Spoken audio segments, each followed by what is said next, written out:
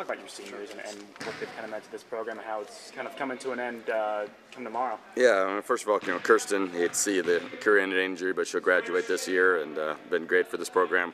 Uh, Adrienne, you know, still has all of her dreams come true, graduate from Illinois and uh, a chance to play when she's done and meant a lot to us. Uh, scored in double figures every game but one, and then KP, you know, it's great to see her senior year averaging almost 20 and 10 and double double averaging a double double, and those guys have led us well.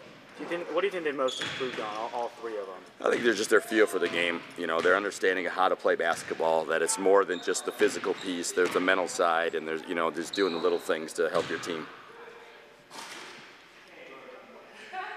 What about what they've kind of gone through, considering you know all the adversity they've gone through? Yeah. What would it mean for them to, to kind of go out, you know, with this with this high note? Yeah, anytime you have a coaching change, it's, it's a hard thing, and you know they feel responsible for that. Obviously, they're they're here and they're close to the previous coach, and so they feel like they let them down. So that's always a hard thing. But you know they've embraced it well. They've had open hearts to us. They've accepted everything we've done and had a really good attitude. So it's great to see them having success.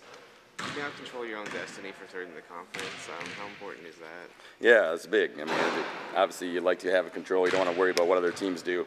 Um, but you know, we got to take O'Hare, Ohio State. Ohio State's played in the postseason every year. They've been in the NCAA tournament. They're going to come here knowing they need to win to play in the NCAA. What do you expect to see different from Ohio State after that first uh, first game in Columbus? Yeah, I would think a little bit more passion. Um, I feel like you know they'd won 31 straight. Sometimes when you get a long streak at home, it's it's easy to take things for granted. So I would think they'd come you know with a little more passion here and be fired up and and uh, be ready to go. Obviously Taylor Hill, you know, first team All American type players. You know they want her senior year to end well as well.